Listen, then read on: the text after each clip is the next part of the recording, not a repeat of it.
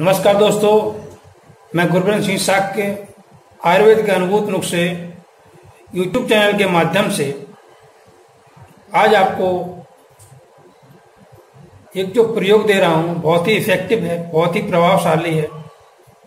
सिर दर्द माइग्रेन की जिनको समस्या रहती है, वो एक बार करके देखिए।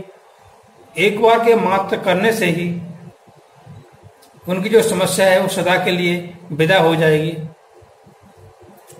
प्रयोग करने से पहले, सबसे पहले मेरे चैनल को सब्सक्राइब करिए, लाइक करिए और पूरा वीडियो आखिर तक देखिए। बहुत अनिवार्य है, क्योंकि कुछ पॉइंट ऐसे हैं, वो लास्ट में बताऊँगा। और इसके साथ में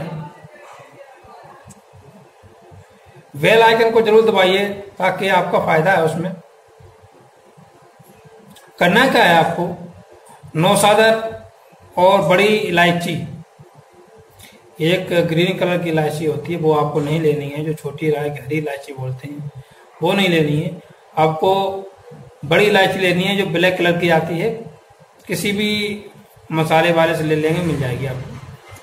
बराबर मात्रा में लेकर के पीस करके रख लेना। खूब बारीक पाउडर बना लेना है। जब आपको सिर दर्द होता है थोड़ी सी चुटकी में लेना है और नाक में अंदर से नाक में डाल देना है। इसका नस लेना है आपको, सूंघना है। इतना बारीक बारीक बनाना है जो आपकी सांस लें तो सांस के साथ अंदर चला जाए। या फिर ऐसी जगह लेट जाइए जहाँ सिर आपका नीचा रहे गर्दन पर तकिया लगा कर नीचे सिर को ऐसे करवा लीजिए। और उसमें नाक में थोड़ा थोड़ा डाल दीजिए। जब आपको मस्तिष्क पर जाकर अटैक करेगा तो आपका सिर दर्द हमेशा के लिए खत्म कर देगा। बहुत ही अच्छा प्रयोग है। एक बार के प्रयोग से ही आपका सिर दर्द हमेशा के लिए गायब हो जाएगा। जिन लोगों को हमेशा सिर दर्द की समस्या बनी रहती है, वो इस प्रयोग कर सकते हैं। तो जय माता दी, जय महाकाल।